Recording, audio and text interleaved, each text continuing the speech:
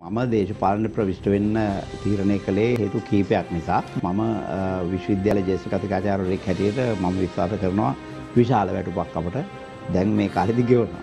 ඒ නිසා මේ ඒ පැත්තෙන් මට කිසි ගැටලුවක් තිබුණේ නැහැ. ඇත්තටම 2015 ඒ ආණ්ඩුව හදලා අවුරුද්දක් දෙකක් යනකොට අපට තේරුණා මේකේ රටට අති විශාල අයහපතක් වෙනවා කියලා. අලුත් සංවිධානයක් හැදෙන්නේ වියත්මග කියලා. ඒතර වියත්මග සංවිධානය හැදිලා මේ රටේ වියතුන් කියන පිරිස ඇතර මෙතන විශාල පිරිසක් ඒක රාශි වුණා.